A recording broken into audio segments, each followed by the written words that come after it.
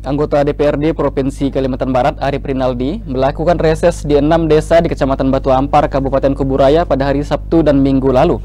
Selain bersilaturahmi dan mendengarkan langsung aspirasi masyarakat, ia juga mengadakan pemeriksaan kesehatan dan pengobatan gratis. Anggota DPRD Kalbar dari daerah pemilihan Kalbar 2, Arif Rinaldi melakukan reses di enam desa di Kecamatan Batu Ampar, Kabupaten Kuburaya. Di antaranya di Desa Batu Ampar, Desa Teluk Nibung, Desa Tasik Melaya, Desa Sungai Jawi, dan Desa Ambarawa. Dalam kegiatan resesnya yang berlangsung selama dua hari pada hari Sabtu dan Minggu lalu, selain bersilaturahmi dengan mendengarkan langsung aspirasi dari masyarakat, Arif Rinaldi juga mengadakan pemeriksaan kesehatan dan pengobatan gratis. Ada tiga orang dokter umum yang disiapkan, kemudian relawan yang merupakan anggota klub motor dan penggiat sosial.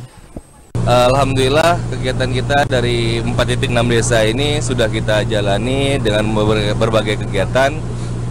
Salah satunya kegiatan cek kesehatan juga pengobatan gratis. Dan Alhamdulillah eh, banyak sekali permasalahan yang ada di Kecamatan Batu Ampar ini yang eh, masih harus diselesaikan atau masih harus ditinjau ulang lagi oleh pemerintah daerah, baik pun dari kabupaten dan juga provinsi. Atas nama Arif Rinaldi bersama teman-teman dari Kalbar Muda mengucapkan terima kasih kepada masyarakat Kecamatan Batu Ampar yang di mana sudah menerima kami dengan senang hati dalam kegiatan reses dan juga silaturahmi ini.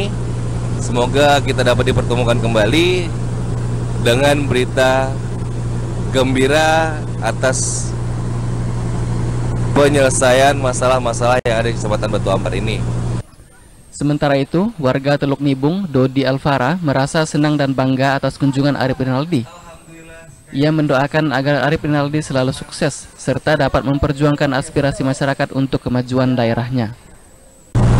Kami warga desa Teluk Nibung, Kecamatan Batu Ampar, merasa sangat bangga atas kehadiran reses anggota DPRD Provinsi Bapak Arif Rinaldi Mudah-mudahan Mang Ari Renaldi selalu sukses untuk membawa aspirasi masyarakat untuk memajukan Kecamatan Batu Ampar. Kalbar Muda, oke. Okay. Selain bersilaturahmi dan mendengarkan langsung aspirasi dari masyarakat, Arif Rinaldi juga memberikan bantuan sembako kepada 20 warga yang kurang mampu, serta bantuan buat rumah ibadah. Zain Pontipi memberitakan.